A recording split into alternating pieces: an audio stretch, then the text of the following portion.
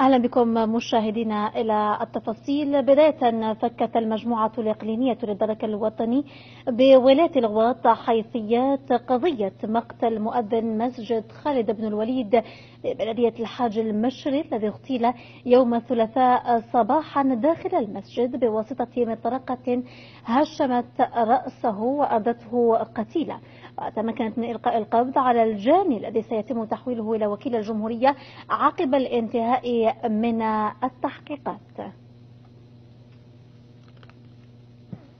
بتاريخ 16 أكتوبر 2018 تلقى مركز العمليات بالمجموعة الإقليمية للدرك الوطني بالأغواط مكالمة هاتفية عن طريق الرقم الأخضر 1055 من طرف مواطن مفادها العثور على شخص متوفي داخل مسجد خالد بن الوليد بلدية الحاج مشري ولاية الأغواط ويتعلق الأمر بمؤذن مسجد خالد بن الوليد بلدية الحاج مشري.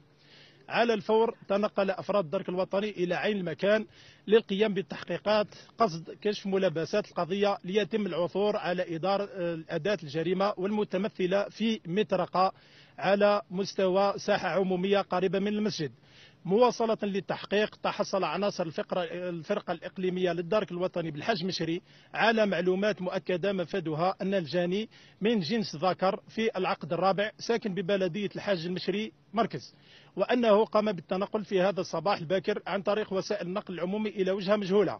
مواصلة للتحريات وبعد إنذار جميع الوحدات الفرعية عبر كامل إقليم المجموعة وكذلك التنسيق الدائم مع المصالح الأمنية والمجموعات الإقليمية المجاورة لتكثيف عمليات البحث حيث وبعد مدة زمنية قصيرة من نفس اليوم تم توقيف الجاني من طرف الفرقة الإقليمية للدرك الوطني بالأغواط ليتم تكثيف التحري معه ومواجهته بالأدلة العلمية الموجودة بمسرح الجريمة خاصة تلك المتعلقة بالبصمات على أداة الجريمة وكذا آثار الدم الموجودة على حذائه الرياضي. اعترف هذا الأخير بارتكابه الجريمة المنسوبة إليه. الجاني سوف يقدم أمام السيد وكيل الجمهورية لدى محكمة أفلو مباشرة بعد انتهاء التحقيق.